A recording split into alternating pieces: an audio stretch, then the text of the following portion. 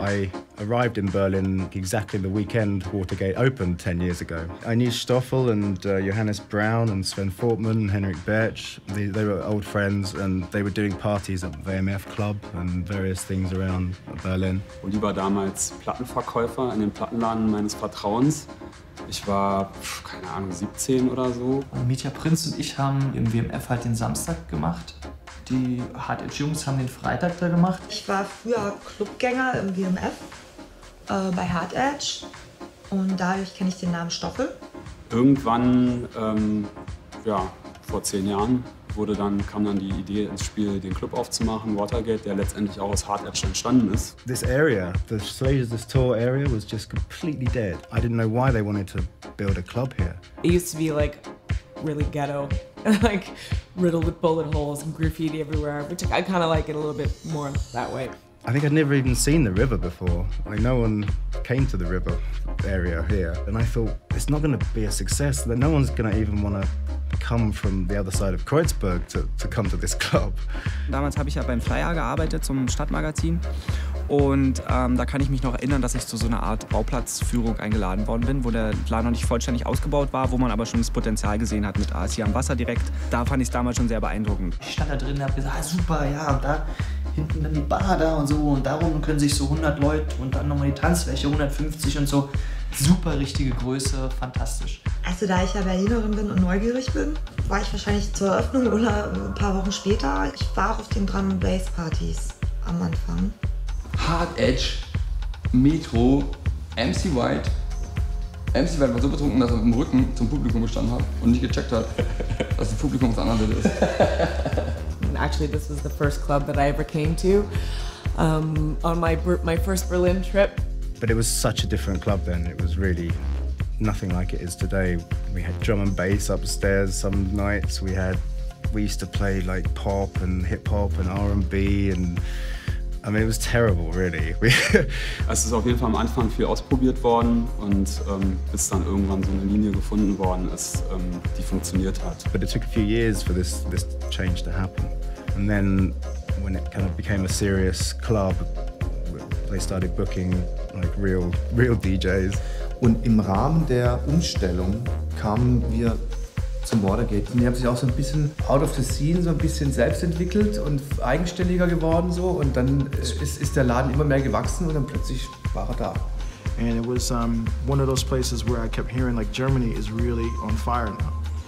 And I kept hearing about certain spots. One was Panorama Bar, and I, I've done that, but I, I never did Watergate. But I've been looking forward to this one for a while when I saw it pop up in the calendar.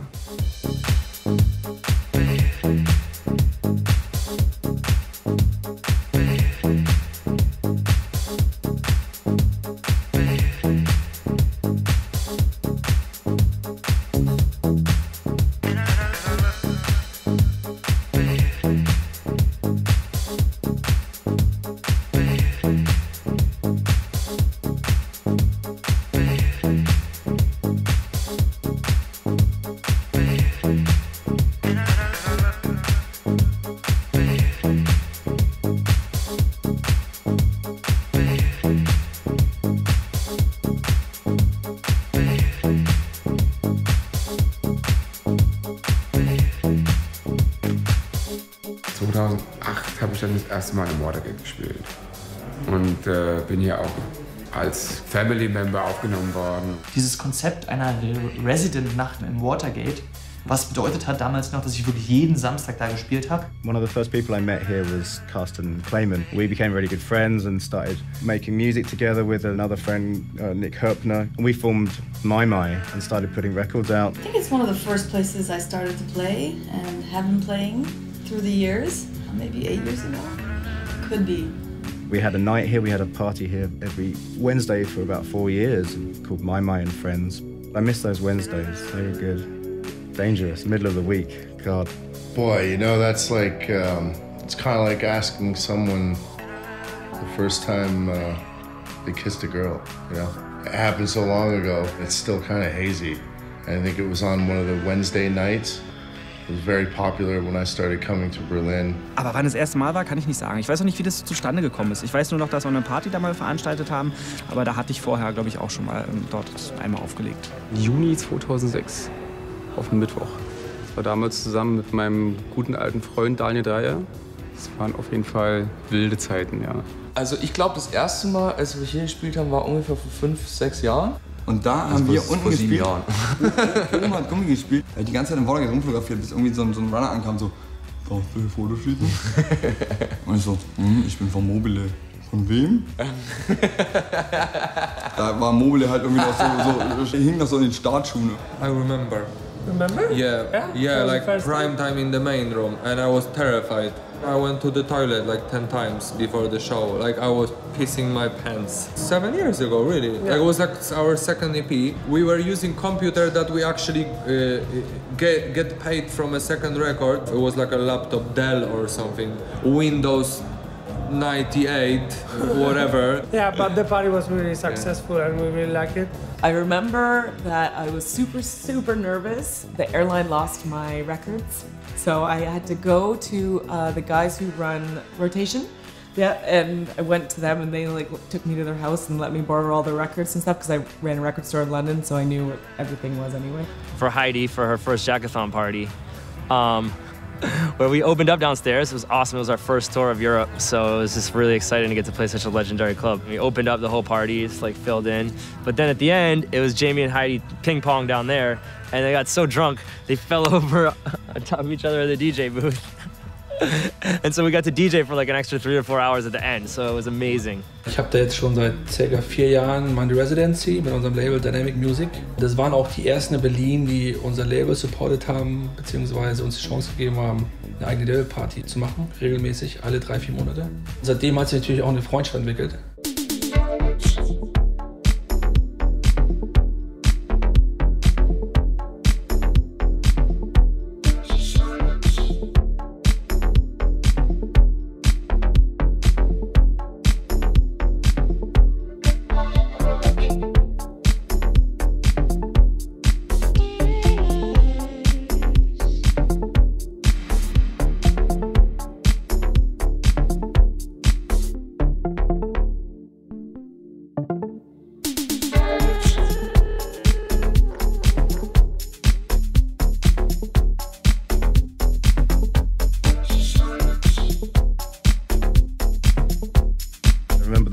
First record we put out as My My. Um, Sven Fate played it, his first track, which was just the biggest thrill for me.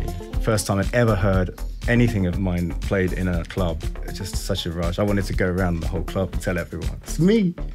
You're dancing to my music. Einmal waren wir hier vor, Jens vorm, Bond, vorm, Jens Unter, vorm Unterricht, erste vorm Unterricht, glaube ich, Ja, um genau. sechs, nee, Vorm vorm so um Unterricht, ja. sieben oder so bis um neun. Und dann mussten wir, glaube ich, um halb elf oder so mussten wir an der Schule sein in Reinickendorf. Und ich so, Tassilo, Alter, ich hol dich um morgens um sieben ab und wir gehen ins Watergate, weil Jens Bond spielt unsere Platte. Stimmt, genau, so war ja, ja, genau. und Jens Bond ja. so, die, Poppy in Case und wir so, oh geil, und der ganze Laden gerockt und wir standen so klein in der Ecke so, Ich weiß, dass einmal, bei- ich glaube, das waren Ewan Pearson hat aufgelegt und ähm, Heidi und irgendwie hieß es dann auf jeden Fall, ähm, komm mal runter, es gibt eine kleine Überraschung. Und dann hat Ewan gerade aufgelegt und hat dann ähm, Happy Birthday von Stevie Wonder gespielt und dann hat wirklich der gesamte Dancefloor mitgesungen und ich stand da. Es war, war so eine Mischung aus peinlich berührt sein, aber im Endeffekt war es auf jeden Fall voll Gänsehautmoment. Mein schönster Moment war tatsächlich, dass ich meine jetzige Verlobte, hallo Eva, das erste Mal geküsst habe. Auf dem Klo, auf dem, auf dem Watergate-Klo. Nur geküsst für alle da draußen, ja. Ja, also ich kann mich schon an tolle Momente erinnern, aber so, So genau nicht mehr. So genau nicht mehr. Also es ist immer so leicht verschwommen. Also meistens ist es ja dann unten immer wahnsinnig lustig. Also ich kann mich erinnern, ich hatte mal so einen kurzen wachen Moment, dann morgens um halb eins habe ich mich dann selber wieder registriert, da habe ich eine Unterhose aufgelegt. Und das war natürlich wunderbar. Das spricht für die Situation. Ne? First one being one of the new kids on acid parties. New Kids on Acid Party. New Kids on Acid. New Kids on Acid im Watergate, Ricardo und, und Zip.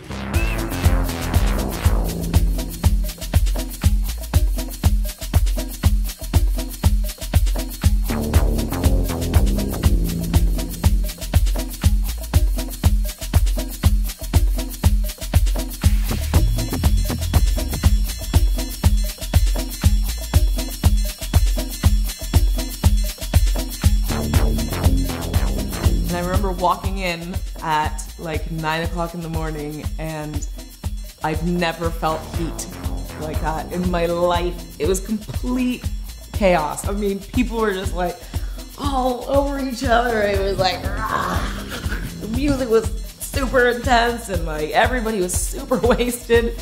Yeah, you could just like the sweat was just pouring up from the ceiling from the condensation from the, how many people were in there, and it was just rocking. And then my CD release party, the Jacobon release party here last summer, was amazing.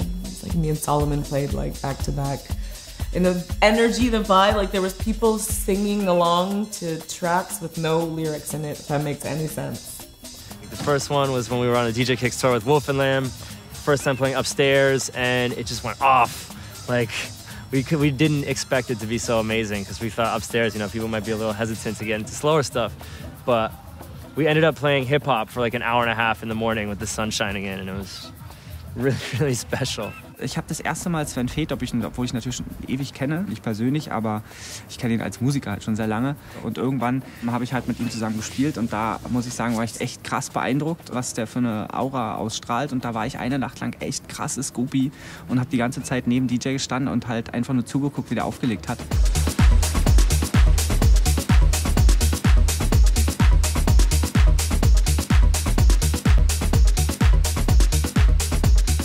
Alles immer so intensiv, weil es sind dann immer so intensiv viele Freunde und, und liebe Leute um mich rum, die ich sonst so in der Konstellation nicht so um mich rum habe.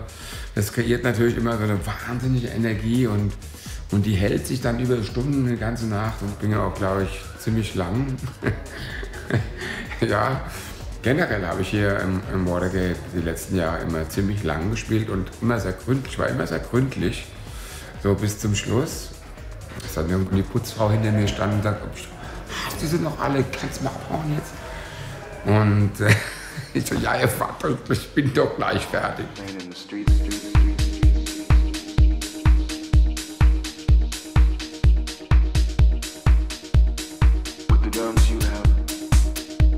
I had two great surprises then. One was the place was amazing. I loved it, the system, everything, everyone here was beautiful. And the second thing I got to do was play all night with my friend Jerome, which was really, I didn't even expect Jerome to be there. So it was a great big surprise and um, just absolutely overjoyed. I mean, there's no other word to describe it. And to, to be invited back to such a place, it's like, and, and then to have everything in the booth like that, it's, it's, wow, man. It's like I hope I hope the night never ends. You know, it's like too bad I have to get on the airplane. You know. Ich habe mit Frank von Arm im Watergate gespielt. Frank hat mir vorher schon gesagt, dass er irgendwas Neues bei hat. Ich konnte mir nicht vorstellen, dass es schon ein Ladeding ist, weil ich hatte die Files 24 Stunden vorher bekommen und dann spielt der das halt damals noch komplett ohne Beats im Watergate und ich habe es das erste Mal da gehört und konnte es irgendwie nicht fassen. Da gibt es halt die Gitarre und die ging halt los und da gibt es einfach nur, es ist ein stulle Basston. Und der, der kommt rein und die Leute drehen total durch. Die Woge sind noch nicht mehr drin, die Hauptmelodie ist noch nicht mal drin. Und die sind total steil gegangen. Als dann das alles noch kam, ey, pff, das war krass.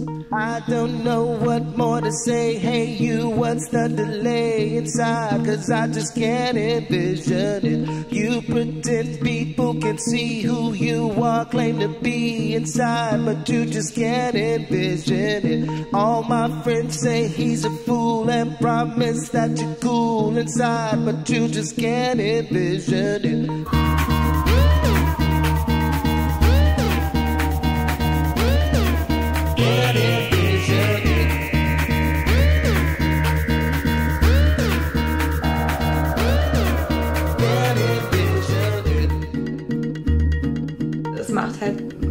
Spaß, weil keiner gelangweilt ist, weil es nicht immer jede Woche wahrscheinlich die gleichen, die gleichen Gäste ins Watergate gehen. Es ist halt auch so, wenn ich da aufliege oben, die ersten Tunes äh, laufen und dann geht da die Party ab. Ah, es ist so schön, wenn die Leute reinkommen und sofort anfangen zu tanzen. Es gibt dir so viel Energie, als wenn die da alle rumsitzen. Das passiert halt im Watergate nicht. Das ist wie so ein Magnet. Und dann tanzen die gleich.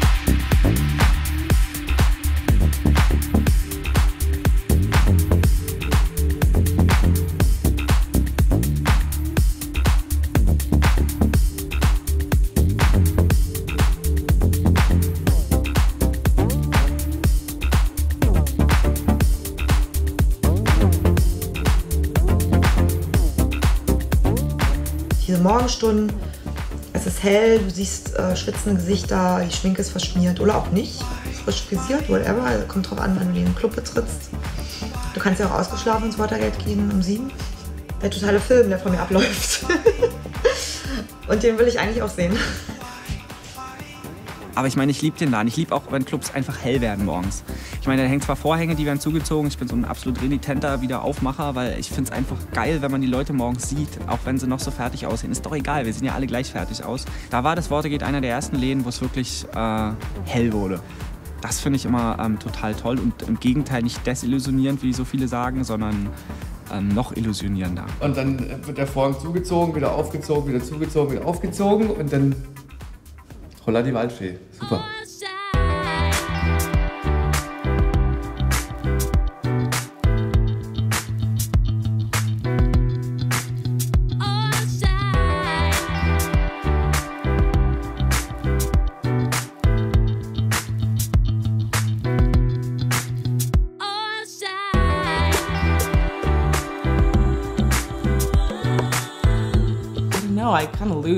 All inhibitions when I walk through this door, and I never leave before 10 o'clock in the morning every single time. I look forward to playing here more than most places. Somehow it's just like very specific kind of vibe that you go there, it's nothing, and then like you see, you, you check your watch and it's like 8 in the morning, those people are going to work behind. It's just so weird and I like it a lot. Es gibt halt so gewisse Clubs, da muss man nicht viel erklären, wie der aussieht, äh, ob der jetzt eine, einen tollen Blick zum Wasser hat, was das Watergate hat, oder eine tolle Anlage, was das Watergate hat, oder eine tolle LED-Lichtanlage, was das Watergate hat. Es gibt so gewisse Clubs, die haben so dieses Magische und das hat Watergate. Ähm, Was ich toll finde, ist die Organisation an sich. Das funktioniert immer alles super. Das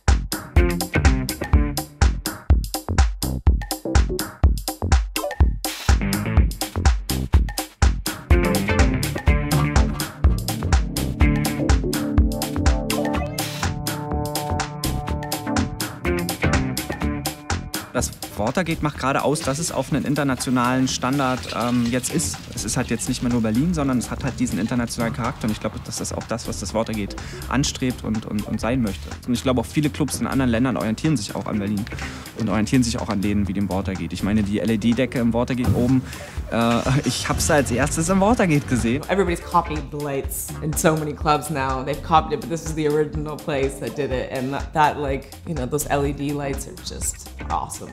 Und die legendäre Lichtanlage. Die 2000 Mal kopiert wurde, mindestens. Mindestens. It also has a floating outdoor deck in the summertime. So amazing. Auch dass man theoretisch mit einem Boot anlegen kann, das, das, das animiert mich dazu, einen Bootsführerschein zu machen.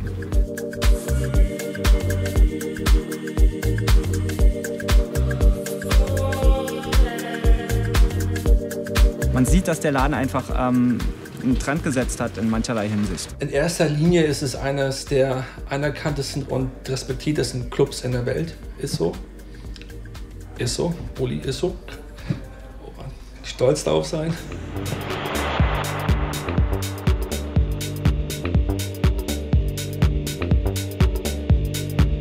Think it's really good for, for Watergate that they're, they're moving into doing a proper label now. Some of the residents that are producers as well to help define the club through its residents. Ich denke eher, dass es darum geht, den Leuten, die den Club besucht haben oder die von dem Club hören, ähm, ein Bild zu vermitteln, was im Club wirklich läuft. Und ich denke, dass sie das echt stark machen, weil ich das Gefühl habe, es gibt eine klare Identity, geschaffen durch das Artwork und den Sound. Als ich gefragt worden bin, ob ich eine Mix-CD machen will, war mir besonders wichtig, einen Mix zu machen, der ein bisschen zeitlos ist, also den man sich auch nach ein paar Jahren noch anhören kann. The CD was a perfect opportunity for me to kind of put out, put some music out there that my friends have done, that was that was working with my label, that all kind of fit together. Compiling the mix CD was was hard, really, really hard. It's easy to, to reel off mixes and podcasts when that's all they are, and you know that no one's going to pay for it, and it's just uh, kind of disposable in a way. It's, but yeah, for a mix, you're trying to create something really permanent. People are going to buy and listen to for a long time, and you're looking for exclusive tracks as well. You're looking for something special that, that other people don't have. Ja, auch da die Zusammenarbeit war super. Also es hat eigentlich alles geklappt. Die Leute haben sich abgesprochen untereinander. Man hat sich zusammengesetzt wegen dem Artwork, was ich übrigens nach wie vor immer noch großartig das war finde. Toll, also ja. Die zwei Eulen die da, zwei die, Eulen, die ja. sind echt super. Uns hat es wahnsinnig viel Spaß gemacht. Na, bei der Water Compilation haben sie mich auch gar nicht gefragt, sondern ich habe gefragt. Ja, ich habe sie eigentlich so gemacht, was ich auch gerne höre, zu Hause, im Auto, auch im Club. Das ist eigentlich verbunden. Ich glaube, es gab auch ein paar Aufnahmen, wo ich wirklich dann zu Hause los bin und den Plattenkoffer, die Treppe runter, also wirklich eigentlich jedes einzelne Geräusch irgendwie aufgenommen habe. Hatte dann irgendwie, glaube ich, eine halbe Stunde Material für Intro und Outro. Ja, ich war stolz wie Bolle, äh, nachdem ich das ganze Feedback gelesen habe. Auch vom Chef, vom, von Stoffel mehr oder weniger mal einen Schulterklopfer bekommen habe. And of course, Solomon with this one had this like huge, the exclusive track was number one on Beatport. That's crazy. So it's cool, man. It's great.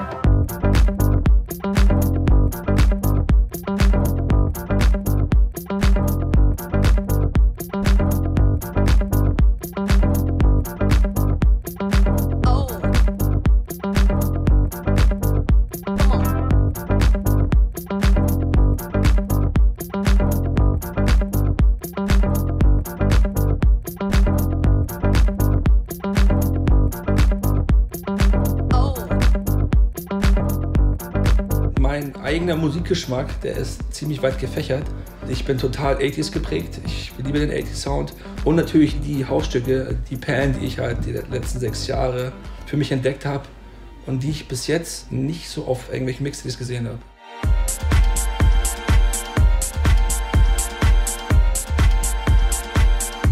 It's really interesting now that we're all starting to, to tour around the world with Watergate. It's, it's another kind of uh, chapter.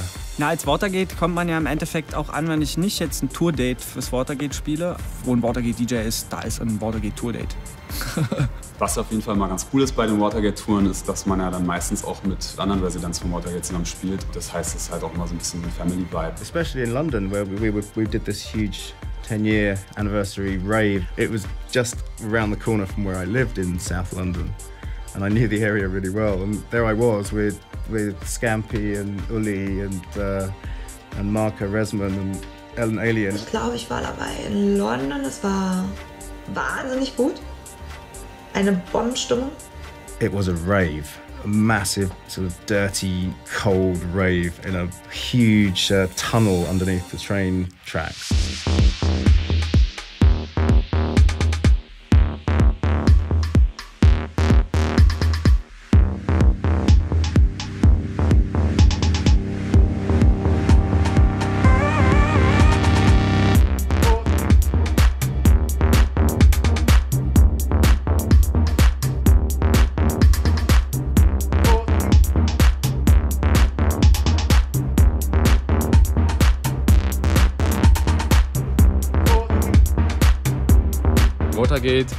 Da in diesem Warehouse, die Visuals, Resident DJs und das war einfach von vorne bis hinten eine geile Party. Dann hast du quasi diese fette Wand hinten hell erleuchtet gesehen und dann nur Marco davor. So, und es war es hat eine geile Optik auch gewesen auf jeden Fall. Hat Spaß gemacht. Es war so Klassenfahrt irgendwie so ein bisschen. Nee, es war geil, es war super. Also wirklich Watergate Party immer 2012, London. Rockt. Bombe.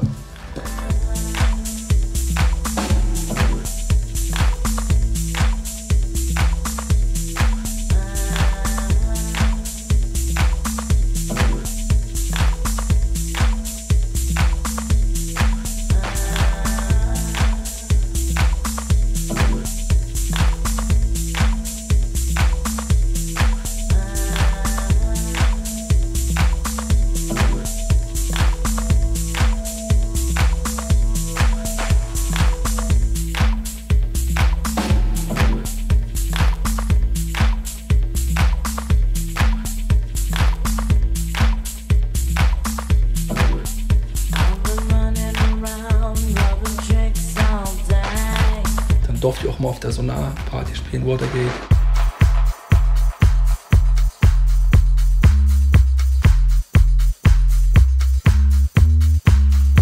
Oh yeah, that was awesome. I wish I played this year. We made it. We, we fucked up and we didn't play this year. So cool. I mean, it's it's tough. Like we're hesitant to take sets where it's just an hour because it takes us really like two hours at least to get into our groove. And it turned out amazing. I mean, sonar sonar is tough. You know, there's so many parties, but I think the Watergate one every year is, is guaranteed.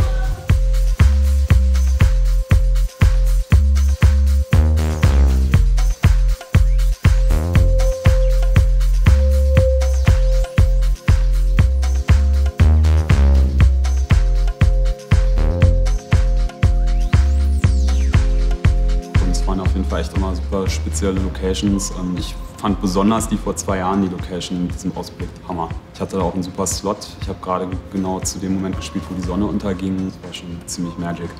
Ich muss einfach sagen, mittlerweile gehört zu meinem Jahreshighlight. Auch die Party dieses Jahr war einfach mal der Oberknaller. Ich hatte natürlich auch die Ehre, mit dem Matze Kaden das Ende zu spielen und Nachnamen wie Solomon und Hell und T-Schwarz und so weiter. Und das war echt fett. Dieses Monastery, da dieses Kloster in diesem alten Stadtkern. Die Kulisse war einfach sensationell und es war so eine kleine Stampede. Da hat es immer so schön gestampft und gedampft. Äh, Es waren so kleine Staubwölkchen, die hier hochkamen. Das war einfach eine super Energie. Und natürlich die Jungs waren da mit guter Laune, Uli und Stoffel. Und dann fühlt man sich ja auch wieder wie zu Hause.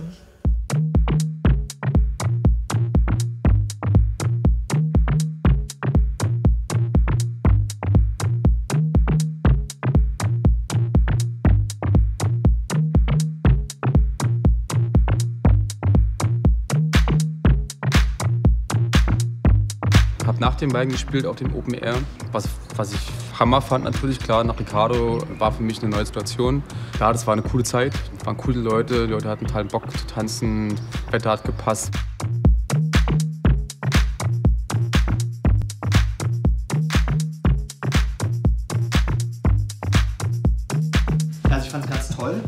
Passiert mir halt nicht so oft, dass ich in Berlin auf einem Open Air spiele. Ich bin relativ spät angekommen, habe dann, glaube ich, ein Resident Advisor Interview gegeben und danach bin ich sofort zum DJ-Pult gestürmt, erste Platte gespielt, Stromausfall. Natürlich habe ich mich sofort nach Stoffen und allem umgedreht und habe böse Blicke geworfen. Ähm, allerdings hatte ich dann eine super Zeit. Ich habe das Closing gespielt, glaube ich, und das war toll, weil am Ende ging dann auch wirklich die Sonne unter und das ist immer echt das Schönste.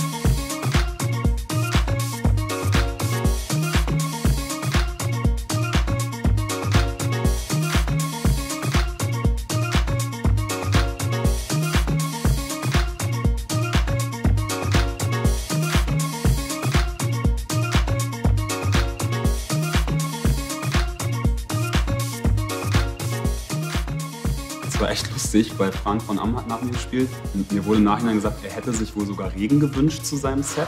Und es war wirklich so, ich habe meine letzte Platte gespielt und es fing sofort an zu regnen. Also wirklich, als wäre die Uhr danach gestellt gewesen. Dann hat Frank sein Set gespielt und nach seinem letzten Track war es vorbei mit dem Regen und die Sonne ist wieder durchgekommen. Also es war schon irgendwie ein bisschen, schon fast ein bisschen unheimlich. Als hätte er da irgendwie so eine Connection nach oben hin oder so. Ich keine Ahnung.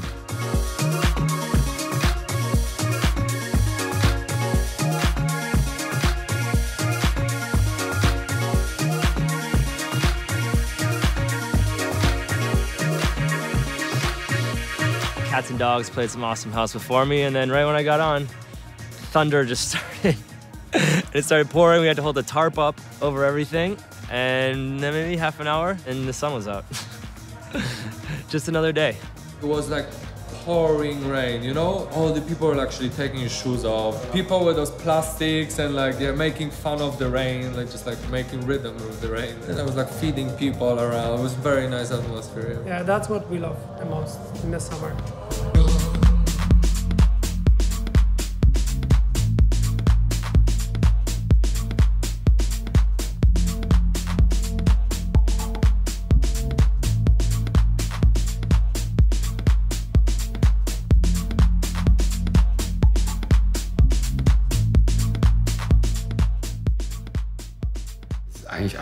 Sehr überschaubaren Rahmen, weil es doch relativ klein ist, der Club.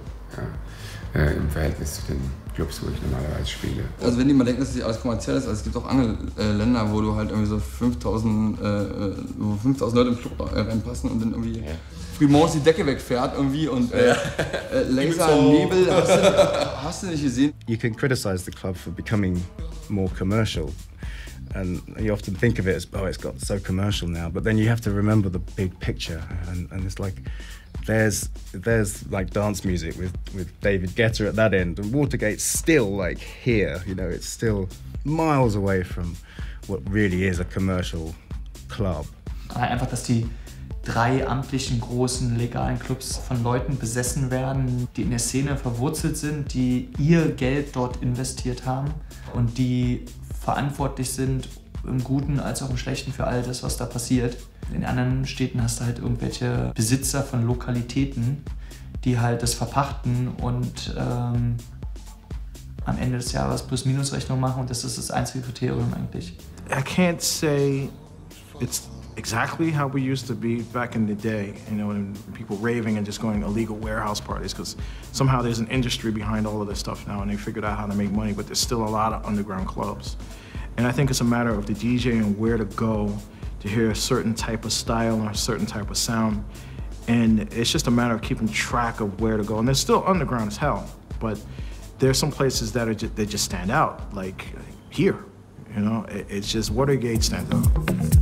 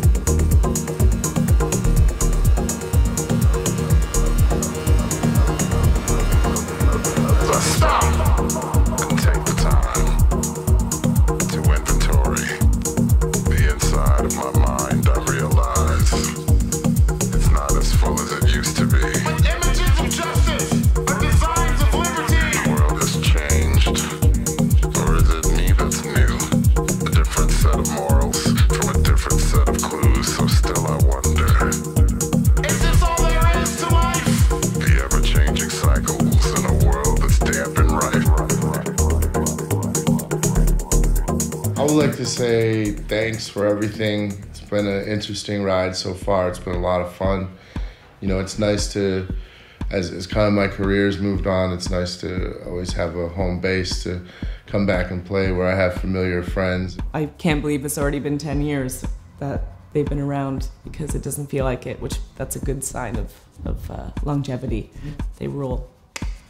Thanks for feeding me vodka and tequila, actually every other alcohol known to man. And I thank you for putting me in taxis when I can't even speak my own name anymore. and remembering to pay me. Or picking up the money that I dropped on the floor when I was uh, walking through the club. yeah. Thanks for taking care of me. Don't forget to tip the bartenders. That's what we always say. also ich würde mir einfach wünschen, dass es die Location Watergate dort vor Ort weiterhin geben wird.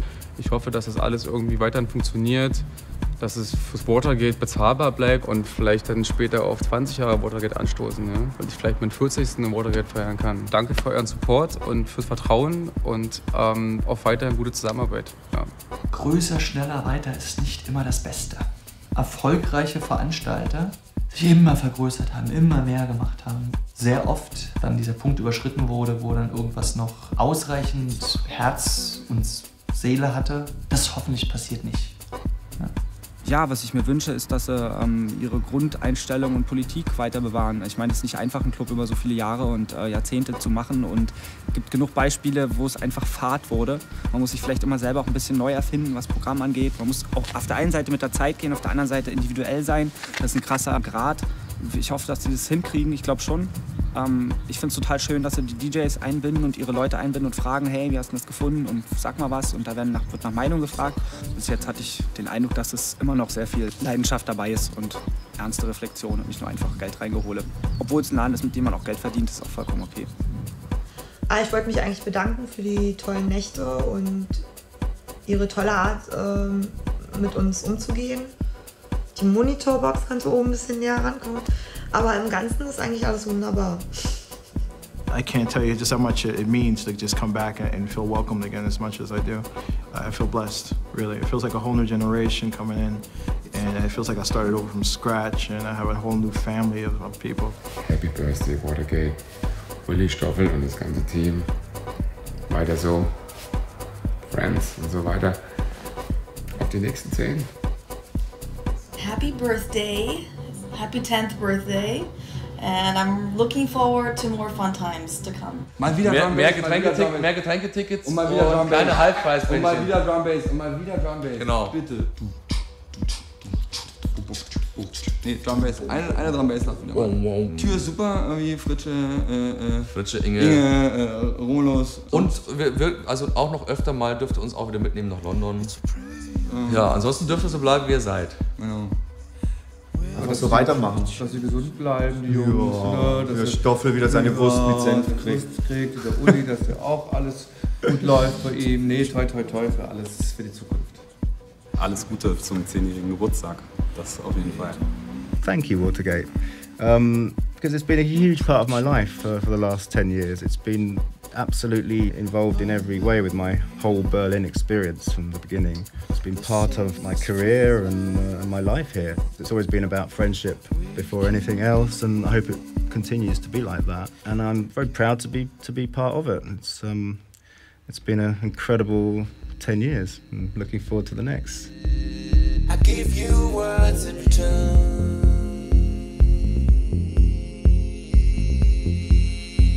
You